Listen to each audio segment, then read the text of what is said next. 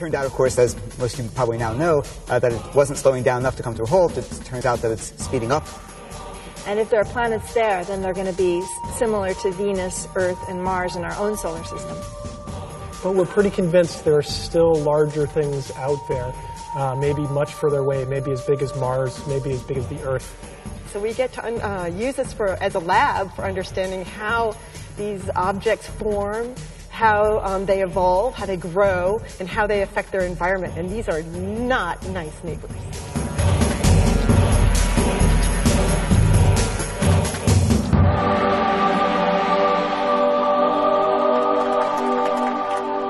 Howdy, everybody, and welcome to this panel. Uh, thank you very much for showing up. This is uh, this is going to be pretty exciting.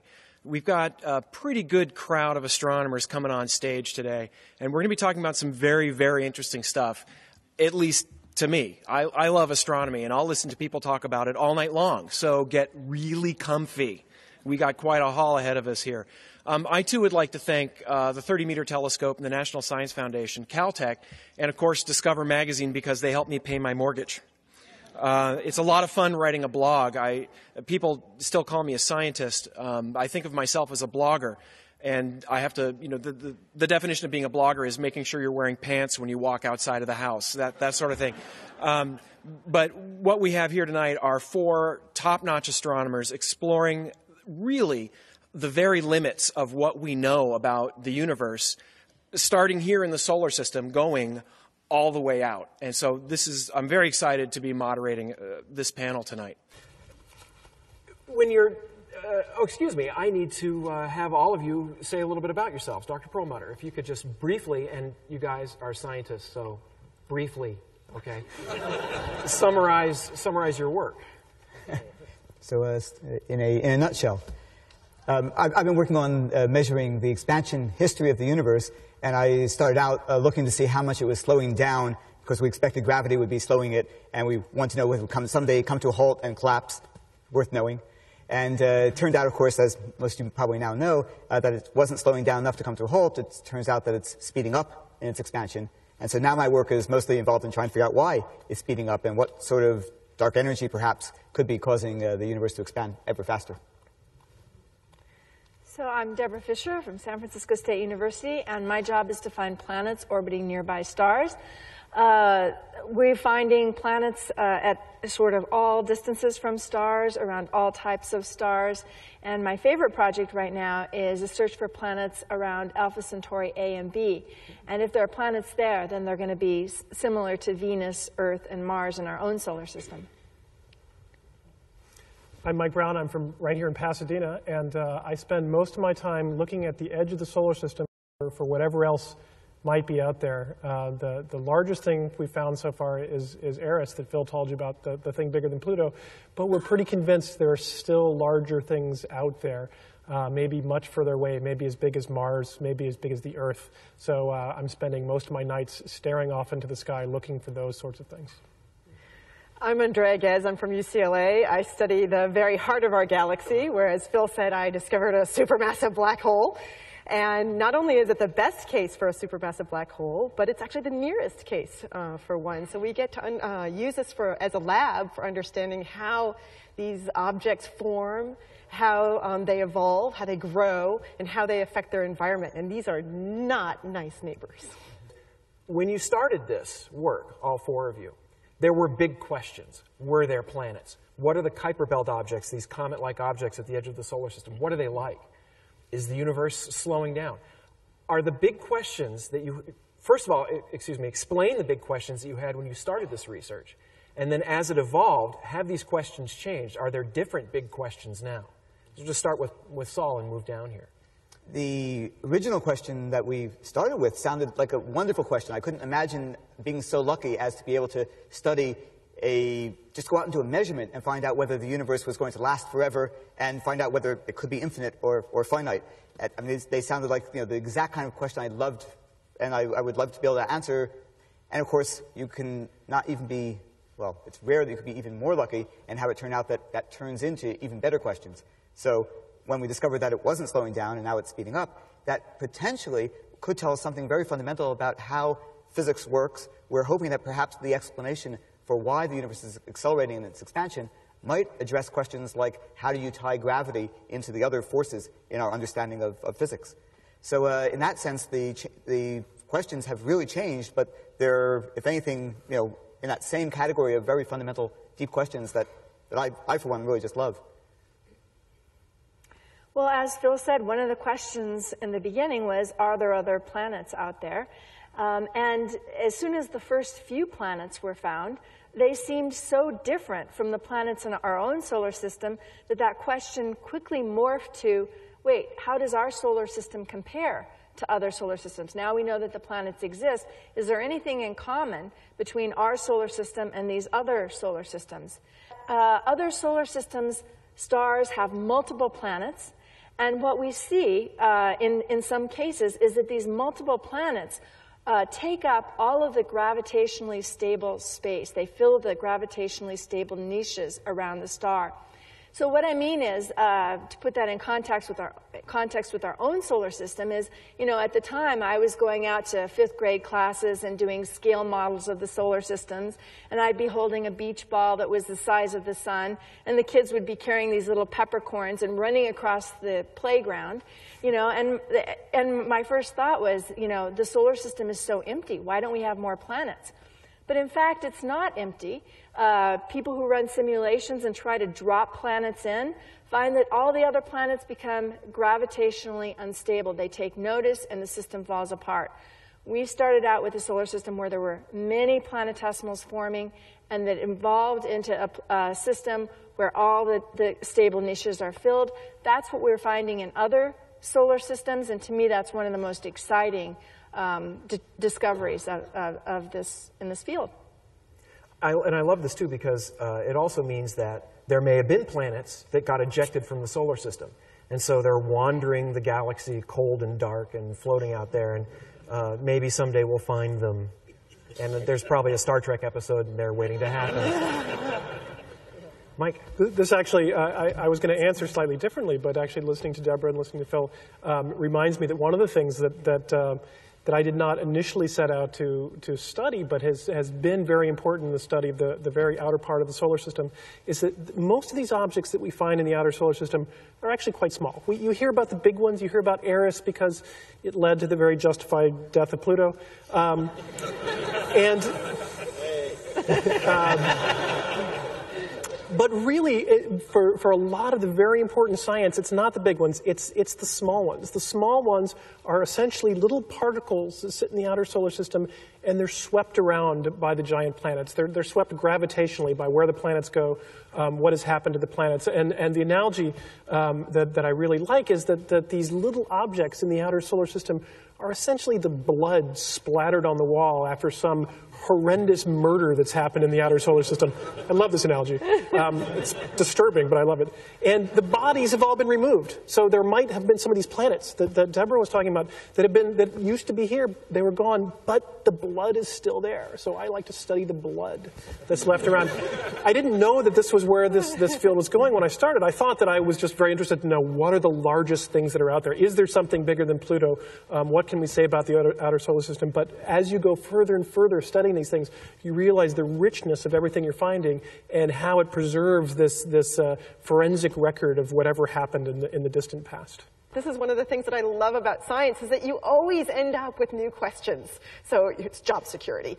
Um, so the, what happened with my research is um, um, the stars that we used to prove that there was a black hole turned out to be very young. And it turns out that young stars have absolutely no right to be next to a black hole because a black hole should just shear them apart. Um, so we have no idea how these stars form. So that's the current, that's one of the major questions we're trying to address today is how do baby stars form next to this completely inhospitable um, object?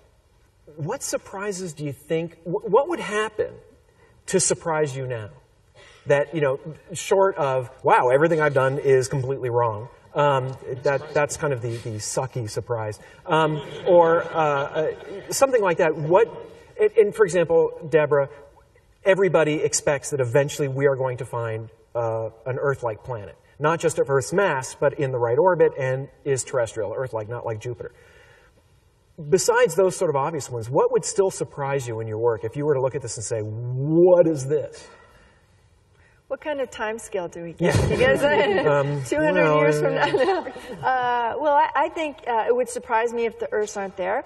We've got the Kepler mission that's launching uh, soon, and it will find transiting planets and tell us something about the frequency of occurrence of small Earth-like planets. And, you know, on much longer time scales, I think it would surprise me if we don't find life at some point or some signature of life on planets where, you know, it's the right, the right conditions exist. There's liquid water. What's going to surprise Yeah, you, Saul? Okay, my, I mean, there's so, I mean, almost anything we find out about dark energy could lead to a surprise, it, it, it looks like. But, so I was just trying to think of, you know, what would be a really crazy thing? I mean, suppose it turned out that we discover that the, when we're measuring this history of the expansion of the universe, we discover that it actually did something different in that direction and that direction. Um, that would be fascinating. You would, you would begin to start thinking that maybe we are getting a chance to see, you know, that the way that the universe behaves over here is, you know, very different from the way it behaves over there. And you could even imagine, you know, slightly different uh, instantiations of physics over here than over there. That would be, I think, one of the most amazing shocks uh, that you could imagine. I'm not betting on it. Right. I'd, give it, I'd give it low probability. I, I think I would say that the, the thing that would be that would surprise me the most would be to not be surprised. Um, and I'm very serious about that. Every time we find something in the outer parts of the solar system, it's different than we thought what was going to be out there. We really thought before we ever discovered anything, we thought we knew what we were going to find. And we went out and found stuff, and we had to keep on changing what we thought we were going to find. And it's just a continuous surprise. And if that surprise ever ends, it's, it's going to be uh, disappointing and a little bit boring. But I actually I think it won't end. I think we'll just keep being surprised. Hard to follow on that one, um, but I'll try. There are two black holes. in this. I'll leave it at that. Yeah, no, okay, well, um, that surprised the hell out of me. Um, we had some great, some great questions that were sent into the Discover Magazine website for the announcement. Um, for Mike, and I, I like this one, um, we're finding more and more Kuiper Belt objects. How soon before we make a direct detection of Oort cloud objects, and would they have a similar composition? And of course, explain what Kuiper Belt. So, so the Oort Kuiper Belt is, is what I spend most of my time studying. It's this, this region of space outside of Neptune um, that extends out for a, a good bit of ways. It includes Pluto, it includes Eris that I discovered, and all the other things that I've been talking about are this, this Kuiper Belt. The Oort cloud, which I'm sure many of you have heard of before, is, is much, much further away. It's the sort of hypothetical region of space where comets come from. It's kind of, it's about halfway between us and the nearest star. It's, it's incredibly far away compared to everything else we've ever seen. How are we going to ever detect something in the Oort cloud? We cannot figure out any way that this is going to happen. There's this region out there rich in bodies. I would be willing to bet anybody, because I'll never have to pay off, that there are things as the size of the Earth, uh, larger out in this Oort cloud, and we don't know how to see it. We, uh, we would like to know. If anybody has any ideas, let me know. um, but uh, I don't know that we're ever going to, in my lifetime, have a way to find out. How, how about waiting for them to come, to come in as, as comets and then exploring them as meteorites? We, we, we certainly, it's, it's in some sense saying that we don't see anything in the Oort cloud and it's hypothetical is a little bit cheap because we see comets coming in and we know where they came from. But you would still like to see them out there. And more importantly, the really big ones that I think would be interesting don't come in very frequently, so we've never seen them. Um, so I, w- I would love to figure out a way to get really get out there and see what's there. And I don't know how. Well, there are some Pains moons. me to admit it. There's some moons orbiting planets that are supposedly captured objects like this. Would there be any way of telling if they're different, if they came from the Kuiper Belt or from the Oort cloud? It- It's been the promise for a long time that, that, there, that these things out in the Oort cloud might be different in some way. The way you would find out would, of course, be to go study a lot of things in the Oort cloud, see how they're different, and uh, find them different in here. So instead, what we do is find things that are different, and we say, hmm, maybe it's because they're from the Oort cloud. Um, we, we just, it's one of those things where we really don't know enough about the, the situation to be able to make anything, say anything sensible about it. I, it's, I, it's one of the things that I would, I would love to be able to do it. I'm, I, maybe even I will figure out a way to do it, but uh, we, we stay frustrated. For Andrea, I actually got a great question about the, uh, the supermassive black hole in the center of the galaxy and uh, the Mayan prophecy of the end of the world in 2012. but um, I will I will spare you that one. Um, that'll be on my blog eventually, um, and I'll leave you an easier one, which is how do black holes affect the evolution of the universe? Aha! and yeah, keep it short. Maybe Or- or and I can answer this together. Maybe just the galaxy. Oh, the galaxy. Well, you know, it turns out these black holes, they're really big, but compared to the, uh, the galaxy, they're really small. So they don't have that much of an effect. So the good news is we have nothing to fear. We are safe out here. Um, so they really only affect the very, very closest stars to them. Well, there's, uh, there have been observations that the black holes in the center are coupled to the galaxies themselves, that somehow the galaxy and the black hole know about each other because of the shape and the size and all that. So they must affect the formation of the galaxies themselves. Yes, so there is, there's been this interesting question over the years that, that has um, come into uh, uh, clearer view. In the beginning, we didn't know, was it the black hole that formed first or was it the galaxy that formed first? Was it, it's chicken or the egg question. But this observation more recently that the mass of the black hole is connected or seems to be related to the mass of the galaxy, which is, galaxy, which is so big, means that they had to form together. They, they couldn't be separate events because the black hole, as I said, can't affect this really big object. So whatever gave rise to that galaxy had to give rise to the black hole. I get that question a lot. People say, Are we affected by the black hole in the center? And I have to remind them 4 million solar masses is a lot, but you're comparing it to 200 billion solar masses in- in the galaxy. And so it's really quite tiny, even though it's a scary thing to think about. So we're safe in 2012? From that, Unless you're Mayan. yeah. um, oh, there's all, oh, there's a lot more. Uh, we should have a 2012 panel. That would be that would be fun. Everybody gets a sheet of tinfoil to. Uh, um, for Deborah, this is a question I, I like because um, I got it a lot, and I know a lot of people have it, and that we've discovered over 300 extrasolar planets orbiting other stars, but they're detected indirectly. How do we know that these are planets? How, how, wh- what sort of independent evidence do you have that, that what we're seeing is not something going on in the star or something weird, that there really are planets orbiting these guys? Well, that question is so 1990s. okay, in the 1990s, 1995, 1997, we didn't know. And this was a huge source of controversy that people said, okay, yeah, we, we believe you. We believe that your data are correct, that the star is either wobbling or it's pulsating, but we're not so sure about that interpretation that this wobble is connected with a planet. And we knew that if we observed, uh, uh, detected enough stars with planets, especially because the planets are very close to the stars, we knew that eventually we would see one solar system where the orientation was nearly edge on, so that the planet crossed the face of the star, the disk of the star. And when that happens, the starlight dims, okay? And the amount of dimming is proportional to the ratio of the radius of the star to the planet. You can see if the planet is as big as the star, it blinks out entirely. If it's much smaller, then a smaller fraction of light gets dimmed out. And from our technique, we're able to say exactly, we, we don't know if the orientation will be edge on or tilted, but we can say if it is edge on, at exactly, you know, 9.45 tonight, you'll see the starlight dimming. And so that's what we did in 1999 with the star HD 209458. And within 30 minutes of the predicted time, uh, Greg Henry at Tennessee State University was looking at five stars with his telescope, and one of them, the star that we predicted would dim, uh, in fact did dim a little bit. And so we saw the shadow. It's been called the shadow of the planet crossing the face of the star. And as a result, we're able to measure the radius of that planet and figure out what it was made out of. Since then, people have actually looked with the Hubble Space Telescope and seen evidence of the atmospheres of the star, detected the atmospheres of the stars themselves. Ca- Planets. I'm sorry, the, the atmospheres of the planets themselves, as they're, you know, the carbon, di- carbon monoxide is boiling off or hydrogen is boiling off from the planet atmosphere. So I think we, we do have uh, fairly direct evidence. All science has to have many, you know, many sort of approaches that fit together so that you know your your hypothesis becomes a theory that's well grounded and supported.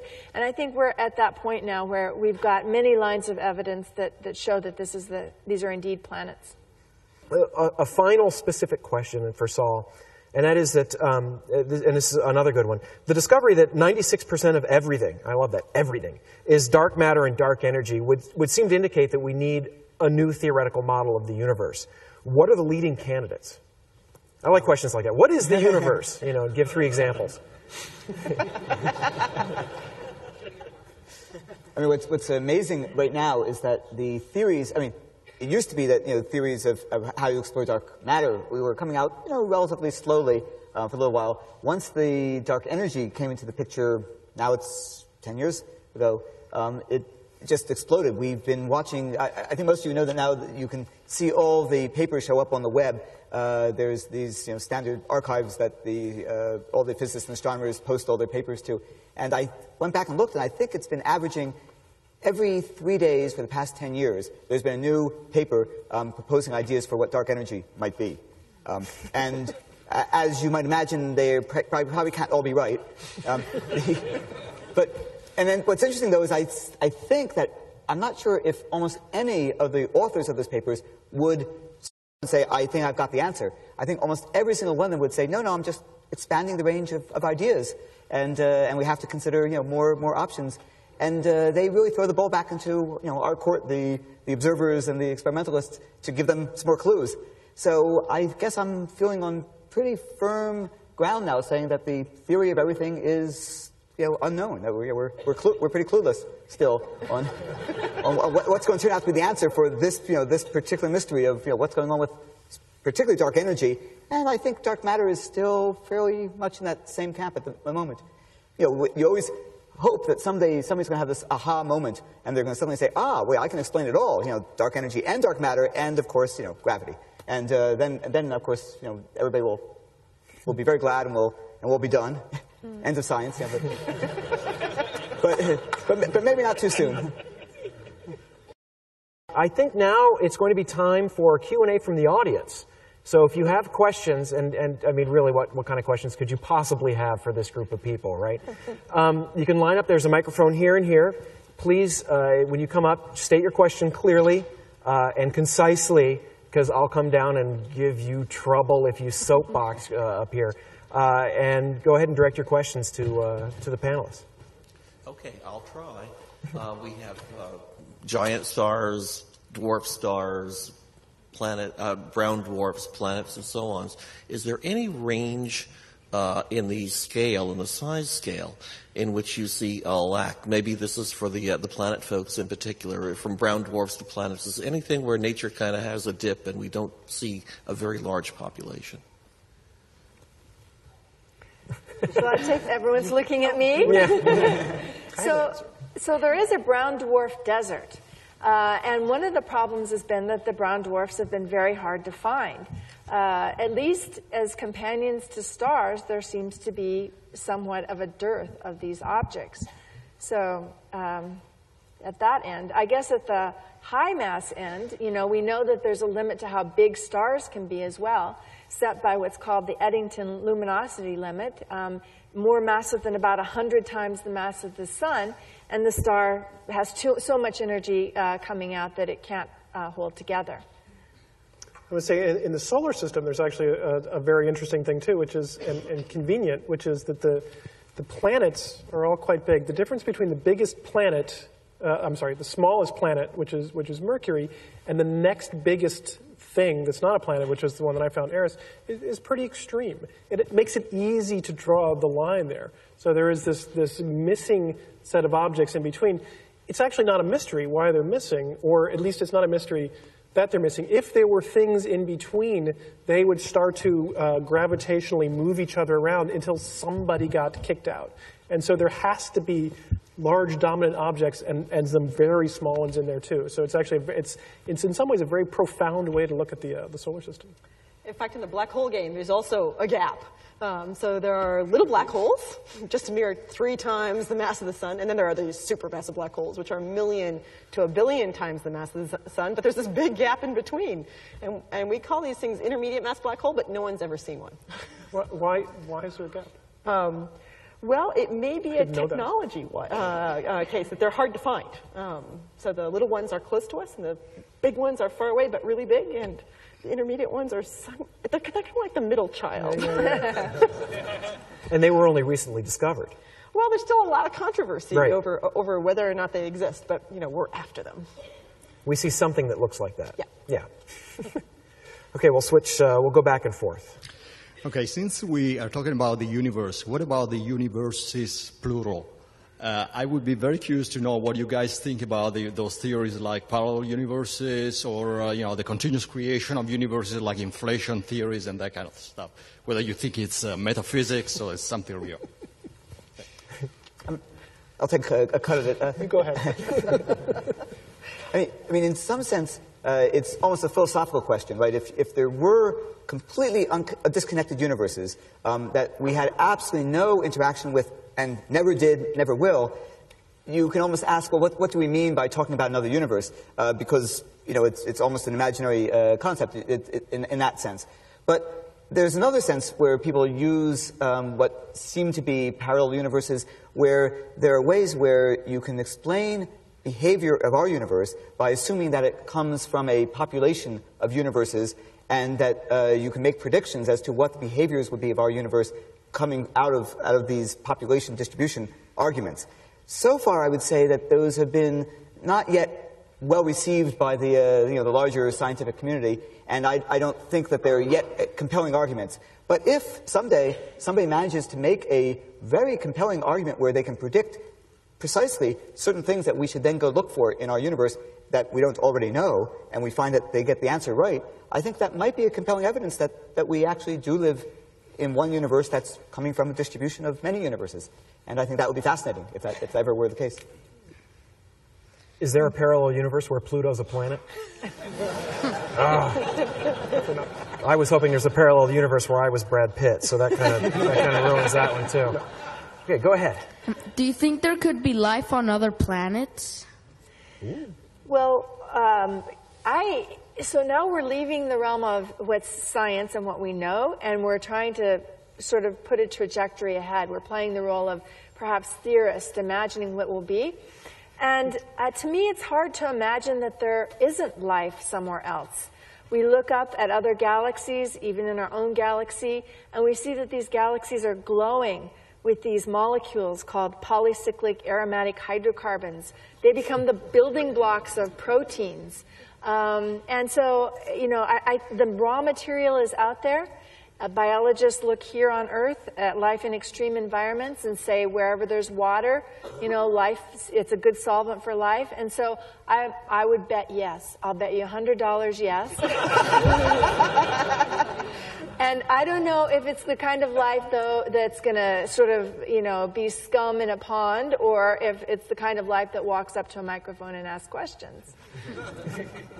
I, I would even bet that $100 that in your lifetime, somebody will actually get to Mars and discover some sort of small microbes that are actually still there. I, I would not be surprised, and I'd even be willing to, to bet that $100. Better write that down.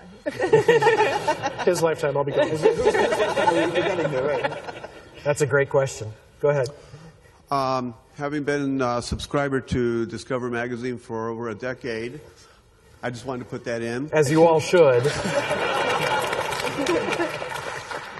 And um, having read multiple uh, reasons for the, the Big Bang Theory, um, I'd like to present this to Dr. Perlmutter. Um, the possibility that uh, dark energy or dark matter is possibly, uh, well, the, that the Big Bang started from a pinprick. So, could there be something leaking from another side into the universe, therefore causing the expansion of the universe? There's been this um, long-standing tradition of using the analogy, you know, of a, of a balloon uh, expanding for the universe, and then you, you work your way backwards in, in time, and you get to the point where you're imagining everything coming from, from a point.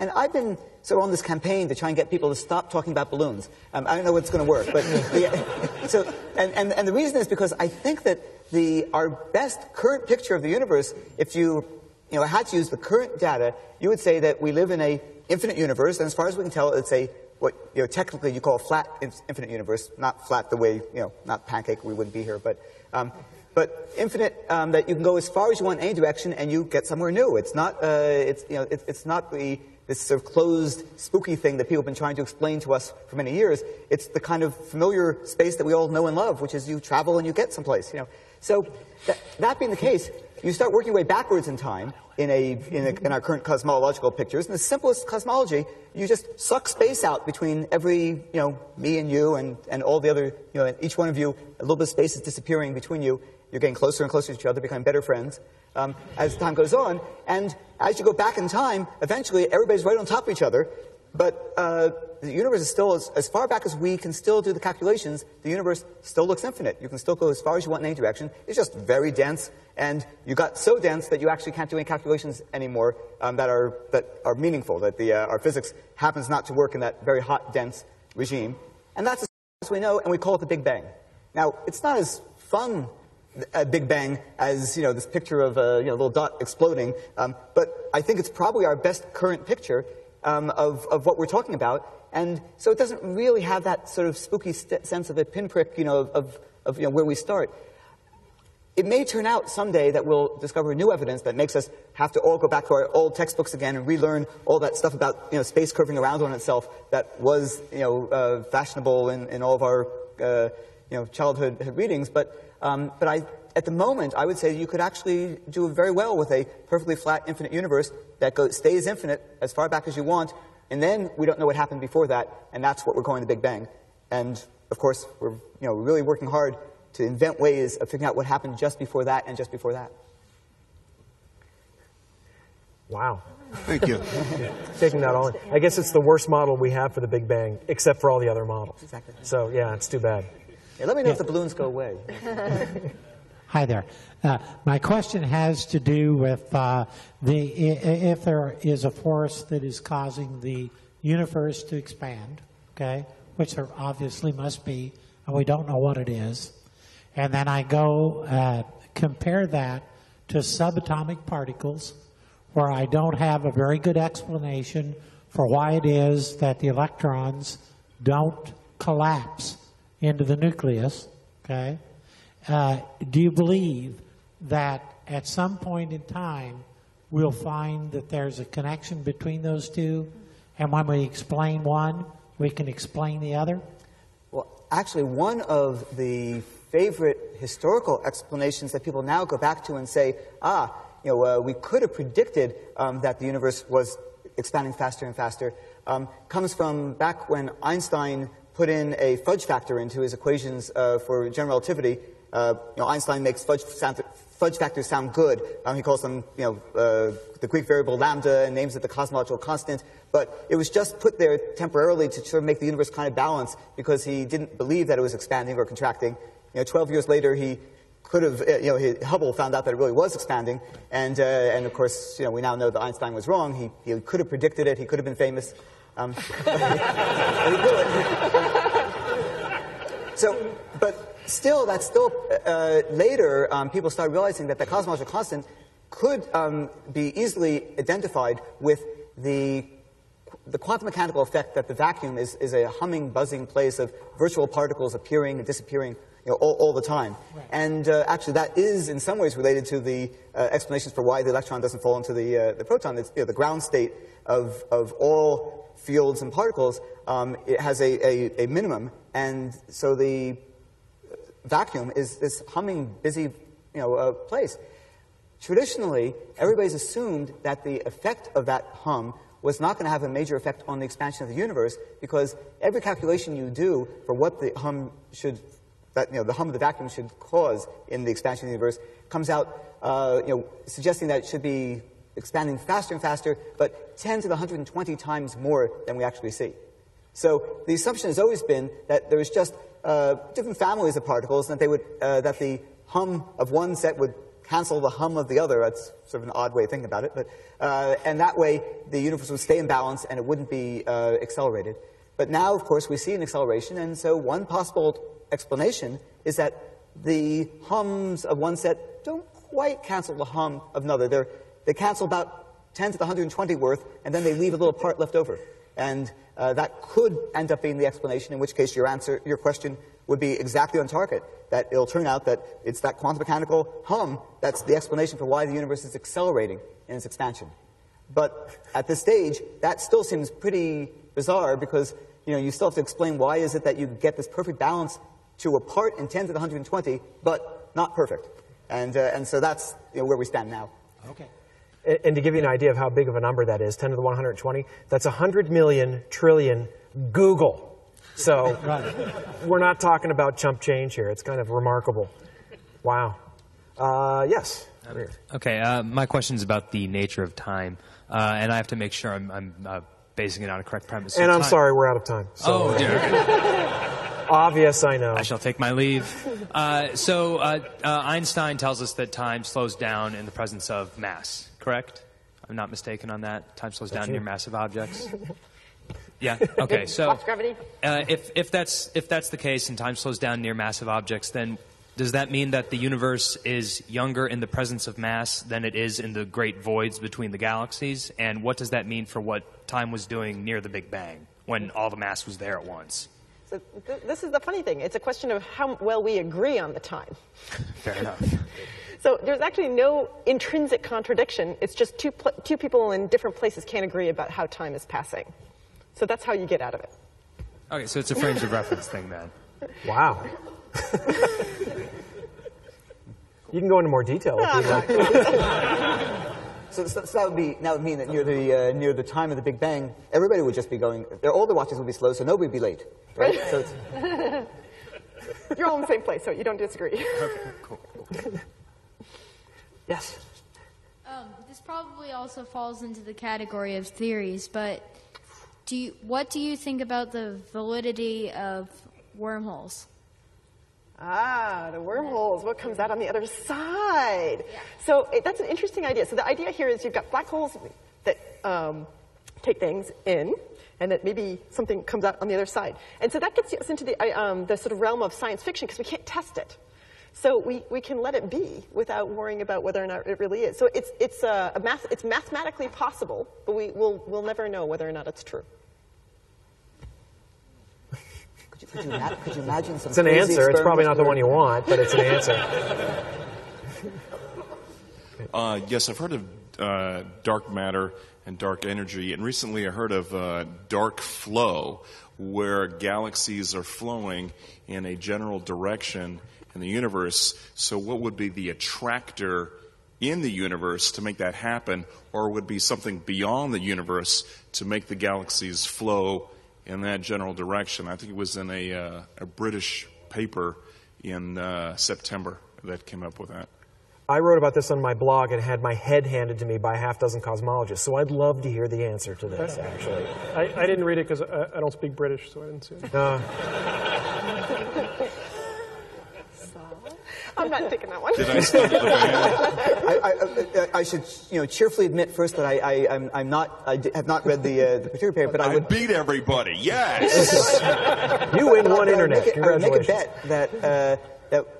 I mean, I, I'm, I'm fairly sure that you know what, what they'd be describing would be that you know people are very interested in studying large uh, you know congregations of galaxies and then how they, they affect each other and how they behave. And so one of the things that people would look for is you know, common motions uh, of them. I think it, these are all definitely within the realm of our own uh, universe that, that, we're, that we know and love.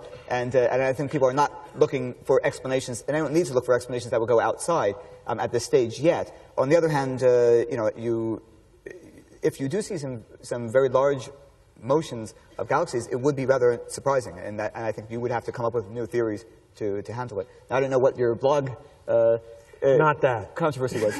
See, when you say it, it sounds great. It sounds smart. If, you know, if I'd written that, I would get a bunch of comments comparing me to Hitler. So, That's, that's the difference between being a research scientist and a guy who blogs in his basement at, at home. So there you go. Yes, go ahead. Hi, could you speculate on the origin of the asteroid, asteroid belt? Ooh. I, I, I could do that. Um, I can speculate on most anything. So, uh, but I might So be right about this Superman- one. yeah, okay. So, so, so the asteroid belt is, is between Mars and Jupiter, and the largest object in the asteroid belt is uh, is significantly smaller than than any of the planets, any of the moons. It's, they're very small objects. So there are thousands and thousands, hundreds of thousands, millions of objects in there. What we think happened in the asteroid belt is it's a region of space where things were trying to coalesce to become a planet. They should have become a planet. If you took all those things and swept them out together, we would almost even be willing to call them a planet on a bad day. Um, but they didn't get swept up together. Why didn't they get swept up together? Well, all the other planets eventually got swept up together, but in the asteroid belt, it's too close to Jupiter. And Jupiter is the bad guy of the solar system. Anytime you get too close to Jupiter, uh, you guys might remember a decade, more than a decade ago, when that, that comet hit Jupiter, came close to Jupiter first, got split apart into 21 different pieces before plummeting in. Imagine that same thing happening to all these things in the asteroid belt. They're trying to come together. Jupiter gets a little too close. They get, they get uh, um, pulled apart again. And so it just never had the opportunity, all again because of Jupiter. So it's, it's material that should have been a planet. And if Jupiter had never existed, it would have been a planet, but it uh, never quite made it. Is that one of those gravitationally unstable areas? It's not unstable. Um, if it were unstable, all those things wouldn't be there. It's one of the very few stable regions. But as Deborah was saying, that she was saying that there was no region that was uh, uh, un, no region that was stable that was not filled. It's filled. There are many things there, but it's it's it's stable, but it's uh, it's it gets it just gets um, too much uh, mucking around by Jupiter. So every time it tries to sort of gently collide together, Jupiter goes and spreads it apart again. I, I have a very quick one here for Andrea uh, concerning our, our famous black hole in the center of the galaxy. I understand recently there's data presented that shows we're off by about 50% on the mass of the black hole, that they, they linked up 10 radio telescopes giving an effective aperture size of about 6,000 miles, and they measured the mass of some stars at different radiuses in our galaxy. And then from that, just basic Newtonian mechanics, they calculated the mass of the black hole. And first of all, I'm wondering well, they're using baryonic mass to predict the mass of the black hole, and, it, and therefore one would assume, well, maybe the black hole is all baryonic mass as opposed to in, no dark matter or dark energy.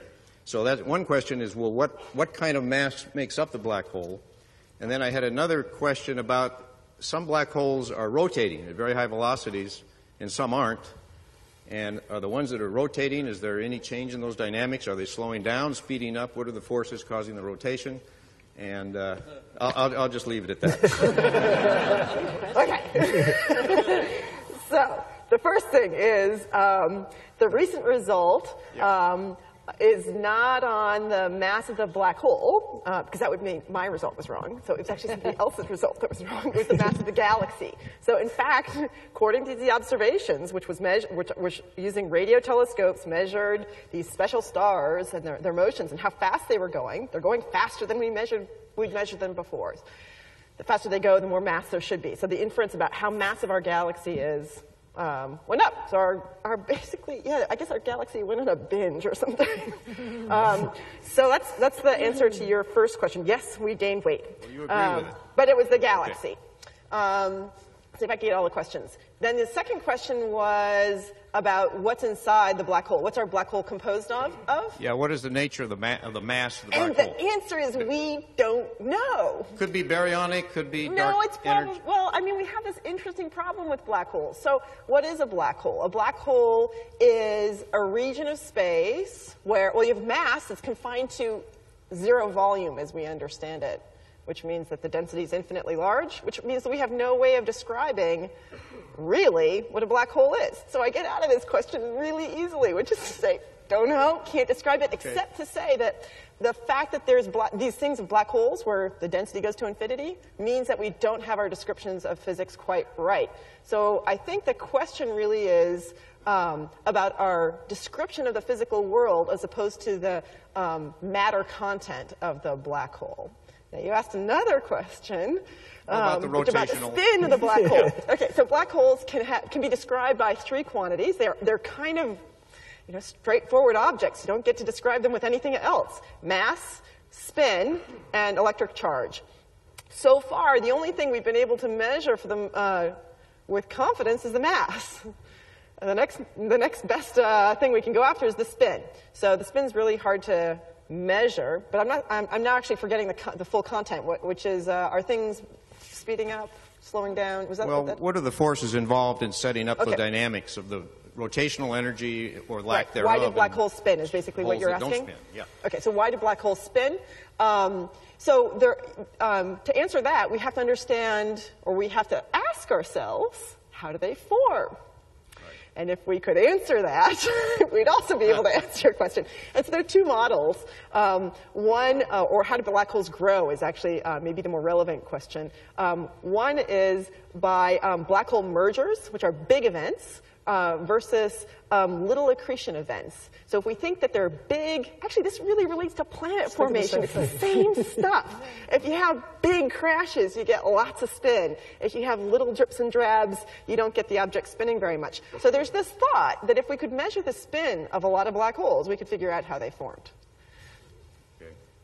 I want to know how Nemesis might affect the Kuiper Belt and the Oort cloud. The, the nemesis uh, hypothesis, for those who you know, haven't been paying close attention to this, uh, this burning issue, was the idea that um, there could be another sun uh, orbiting with our sun, and that wouldn't be so shocking. Most stars in the sky have companions orbiting uh, you know, around them or around each other, companion stars orbiting around each other. Um, this one would have to be pretty far away because the orbit would be on the order of every 26 million years.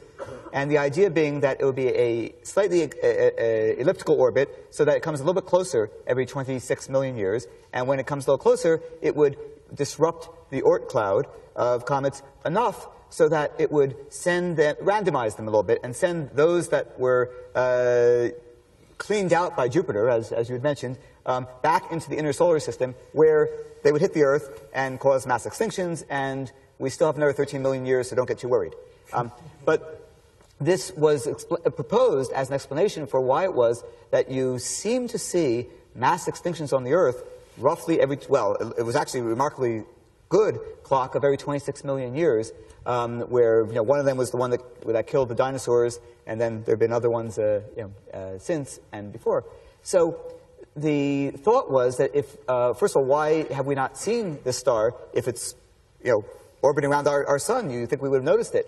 And the argument was that, well, these are, this is so far away that its orbit, and its orbit is so slow that for all of our measurements, it's looked like it was really still uh, in, in the sky. You would not have noticed the, noticed the orbit at all. And, uh, and in fact, it would have masked itself um, because the most common kind of star in the sky is a very faint red dwarf. And uh, it, you, we've always thought that it was bright because it was one of the red giant stars, which are actually much brighter than the red dwarfs, hence the name. Um, but in fact, it was a, it's a very close faint star, a red dwarf. And I can, I can tell you that we did not find it in the northern hemisphere search that we were doing um, at that time. As I understand it, there's, they have not yet completed the full survey to prove that this isn't, uh, isn't the case. But that was the story of, uh, of, of, Nemesis, of, of how it, and, and, why it was thought to be of interest in, uh, in randomizing the Oort cloud, and then, of course, why it would have a big difference for us here on Earth. I don't know if you want to so, add. So, well, so I'd say the, the quick yeah. modern answer to the question of how it would affect the Kuiper Belt and, and the uh, and the Oort cloud answered is that. Um, Remember I said earlier that the, the Kuiper Belt is in some ways these, this blood splattered on the wall. Well, Nemesis would have been one of these, these uh, it would have actually been the killer, not just the body.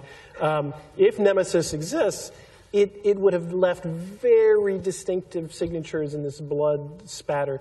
The problem is, where it would have left it is in the very, very distant part of the solar system that we have not explored particularly well Yeah, not even just the Kuiper Belt, not quite as far out as the Oort cloud, but there's this middle region where we currently know of one object, and we're looking for a lot more. But if we can find even even a dozen objects in this little in this middle region, um, that'll tell us, I think, pretty definitively uh, whether something like Nemesis exists or not. So, so stay tuned. I think it's in the next five, ten years we'll really be able to answer that question with, with very little doubt. And I've been waiting for this moment now for a few minutes. For those of you who can't see, this gentleman is wearing a T-shirt that says "Pluto, never forget." Um,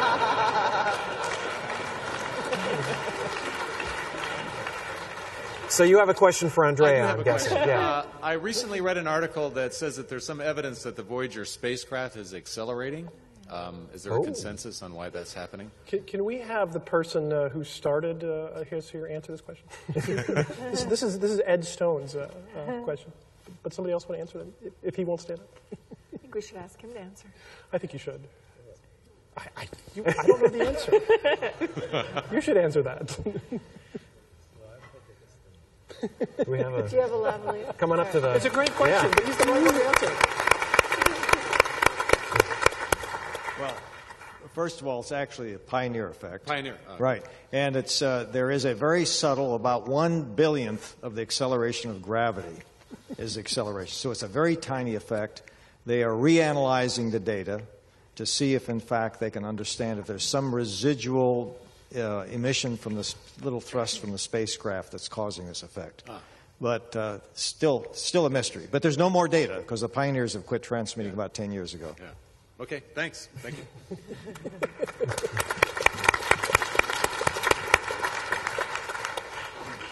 See, I, I didn't know that. So that was. So I'm really excited that 2009 is International Year of Astronomy. And it's also International Year of Science. And um, Flat Stanley here is part of International Year of Science, and he came to hear you guys, and he's really excited about astronomy too. I was wondering uh, if you could share your feelings about public engagement in science and astronomy. And it, it's such a wonderful thing to be able to come to something like this. And it's probably good for you guys too to come here and be able to talk to real people instead of just your colleagues and other scientists. Um, so, and, and I'd also like to say that uh, I think that um, it, whatever money NSF put into this event is well worth the money, and it, they should be spending more money on events like this too.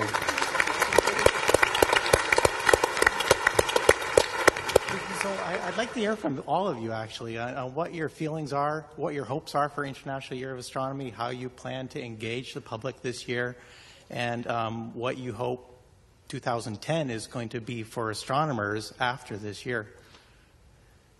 Wow. Well, wow. um, Awesome. I guess I would love to answer this question because I think one of the privileges of being an astronomer is we're working in a science that's easily accessible to the public. So I think it's actually part of our responsibility to talk about science um, to the general public as we're doing here today and as hopefully will happen many, many, many more times in um, 2009. Um, so I think that it's not for us to talk about as- as- astronomy really for astronomy's sake, but really as a science that's easily accessible. And I would say I, I, I find astronomy just so so fascinating and, and so much fun and so accessible that I'm I'm always like grabbing people off the street and saying, Hey, did you guys see you know Venus and the Moon here tonight as you walked in? And uh, and so I, I love coming to events like this. The, the best example I can give of, of how much how, how how excited I am to be here tonight is that I actually am here tonight instead of home with my, my three and a half year old daughter, who I, I rarely uh, leave because I'd almost rather be with her than anything. But before I came in tonight, I made sure to run and, and show her uh, the moon and Venus too, because that's just so. I, I want in this International Year of Astronomy, um, if there's anything I can convince people to do, I want people to actually not just sit here and listen to astronomers and think about astronomy, but I want them to look at the sky. So, what I want everyone to do when you walk out tonight, um, Venus and the moon will have set, so it's too late. But as you walk out these doors right here, you can look right up here. You'll see Orion. You'll see you'll see Sirius. Just look up at the sky for a minute and and just think about what's out there. That's what I want. So the International Year of Astronomy, of course, was designated by the United Nations, which is pretty cool. And it's the 400th uh, celebration anniversary of Galileo and the telescope that, that he built. And uh, for me, we were talking a little earlier this evening about the study that came out recently from the University of Michigan that only 25% of U.S. adults are scientifically literate. And, uh, and we were commenting that, you know, that's not the case for kids. I mean, when their kids are in school and grade, you know, grade school, middle school, high school, they're learning science. And somehow they get out of uh, high school and, and they go on and they get, you know, busy with their careers and they forget about it. Uh, and so it's hard for them to read uh, an article and understand what's going on, make sense of it, and you know weigh the balance, the pros and cons, and so forth. So I'm pretty sure that all of us are going to be giving a lot of public talks, and I hope that it's a chance to uh, spark enthusiasm in the American public for science. As, as you can tell, uh, we're all very shy, retiring people who don't like be, being here in public. Um, but, but I, you know, I think we, uh, we obviously do get a real kick out of uh, a chance just to talk. But for, for me, um, I think there's also this, this extra element that I, I always feel that science is, you know, it's not just this collection of facts and, and you know, things you can learn out that, that you, know, you, can, you can find out, but for me, it's, it's just a, an approach to asking questions about the world, an approach to, you know, how you, how you ask about almost anything you could do in life that everybody should be uh, enjoying and sharing. And I think it would make for perhaps slightly more uh, effective, you know, voting patterns. I, would like to believe, but, um, but in, just in general, I, I, sort of feel that we all need a you know, whole range of, of styles to approach the world with, and it's one of the reasons that you know I think it's very important to have had a very strong you know uh, English background and you know literature background, and and science is one of those uh, because it gives you another set of glasses to wear when you look at the world, and one that I think is particularly effective when it comes to asking questions that where you have to make a decision. And I, I really do feel that there's something crucial about the, you know, the, the extent that we can teach how we approach the world as scientists um, that is just a pleasure for everybody to experience and maybe makes everybody feel they could use it whatever they're doing in life, whether they're doing science or not. We are out of time, and I can't think of a better question to have ended on than, than the International Year of Astronomy. I'd like to once again thank our sponsors, the National Science Foundation, Discover Magazine, I'll get it right this time, uh, the 30 meter telescope, and Caltech for hosting us here tonight. Thank you very much, and thank our panelists once more.